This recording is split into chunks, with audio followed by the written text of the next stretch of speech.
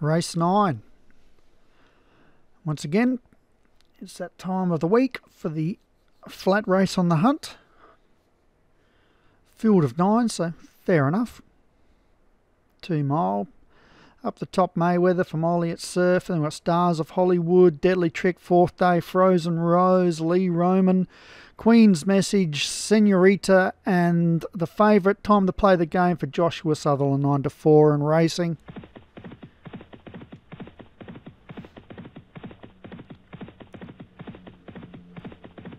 Two up front there early, Senorita and fourth day, and two or three at the tail of the field just getting pushed along to get up to speed here. Widest runner is Mayweather for the time being. Senorita out in front now by about three, two and a half from Deadly Trick. Time to play the game is up there early. And out the back early is Queen's Message. Run by the tote board there and should be up near the winning post. And here it is, and a lap to go.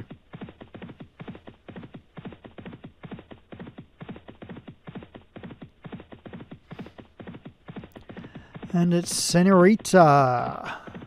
Takes them out of the straight and into the back section of the course here.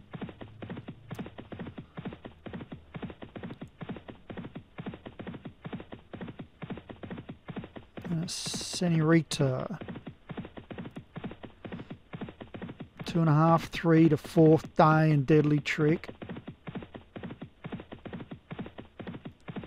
Fourth day just threw out the anchor there for a bit. Now we've got five across the track looking for second, and at the back there we've got Frozen Rose, Queen's Message, and Mayweather. I think it's all set weights in this not sure, it's been a while since I've had a horse run in the bumper. So Senorita by two to fourth day. Lee Roman out wider, pushing forward is time to play the game. Stars of Hollywood there as well. Down on the fence, but nowhere to run is Deadly Trick. Then we've got Queen's Message, Frozen Rose, and Mayweather. Six furlongs left to run.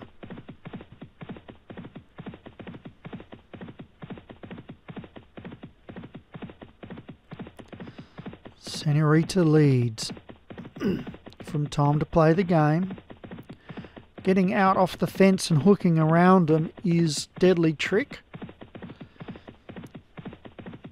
So Jim should be happy there. Nice clean run to home. Pushing forward from out, out wider from the tail of the field is Mayweather.